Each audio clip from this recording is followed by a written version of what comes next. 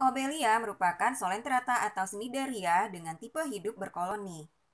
Obelia memiliki bentuk tubuh polip dan medusa. Bentuk polip adalah bentuk obelia yang hidup berkoloni. Meskipun hidup berkoloni, obelia memiliki satu rongga gastrovaskular yang saling berhubungan. Obelia memiliki dua macam bentuk polip, yakni polip hidran atau polip pengambil dan pencerna makanan, dan polip gonangium atau polip reproduktif. Polip gonangium atau polip reproduktif mengandung tunas medusa. Tunas medusa ini berfungsi dalam perkembangbiakan aseksual. Dalam perkembangbiakan aseksualnya, tunas dewasa akan dilepaskan menjadi medusa yang dapat hidup bebas dan soliter. Fase medusa ini merupakan fase generatif yang menghasilkan gamet.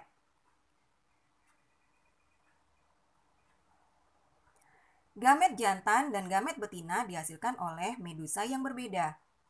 Medusa jantan dan betina yang telah membentuk gamet akan melepaskan sperma dan telur ke air. Sperma selanjutnya akan membuahi sel telur hingga terbentuklah zigot. Zigot selanjutnya akan membentuk larva planula yang dapat berenang bebas.